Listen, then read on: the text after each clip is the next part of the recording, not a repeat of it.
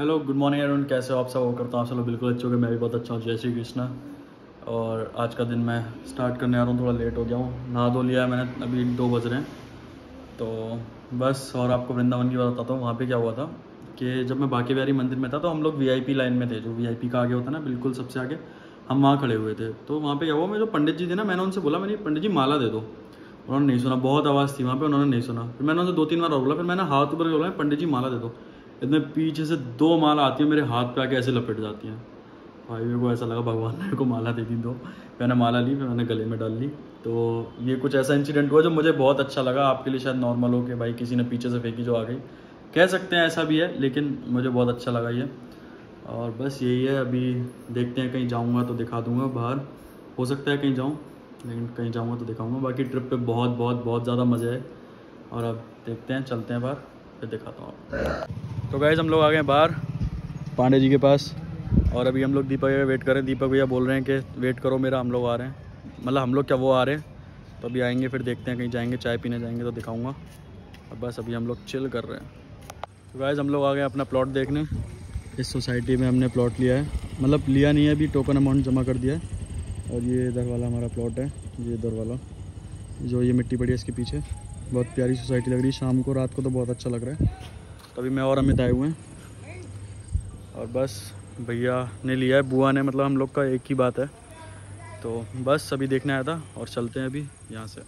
और दीपक भैया का हम लोग वेट कर रहे थे दीपक भैया आए नहीं। अभी जा रहे हैं दीपक भैया आ रहे हैं, फिर उनसे मिलते हैं। दीपक भैया आ गए और हम लोग जा रहे हैं मंदिर। आज ट्यूसडे है। यस फुल एनर्जी हम लोग आए थे अपने दोस्त की दुकान पे और रसमलाई खा लिया इनने। कैसी लगी? दाढ़ी पे दिख रही होगी आपको इनकी। हाँ यार बता अपने भाई की दुकान है। वही चलते गाय अभी हम लोग आ गए सदर चाट के लिए। और अभी कुछ खाएँगे तो दिखाता हूँ नहीं तो खाएँगे तो यही कुछ ना कुछ लेकिन शायद मैं दिखाऊँ या ना दिखाऊँ पता नहीं है। ये हमारी सदर की चाट गली है।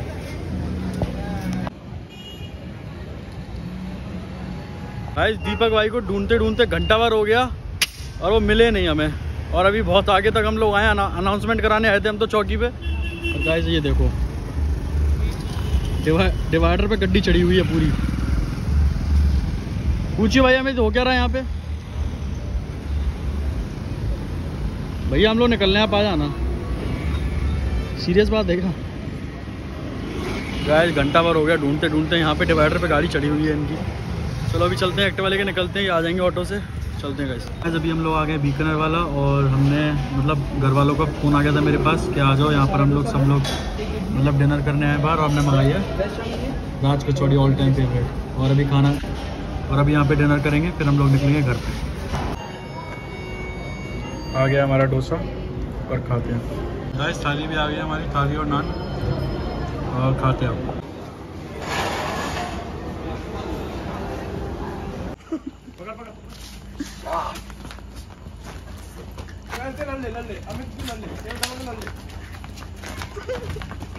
क्या लड़ाई हो गई है भाई अमित क्या करता है यार? तो वह इस घूम घाम के मैं आ गया हूँ घर पे वापस और इस ब्लॉग को मैं ये एंड करता हूँ। मुझे पता है ब्लॉग बहुत छोटा था।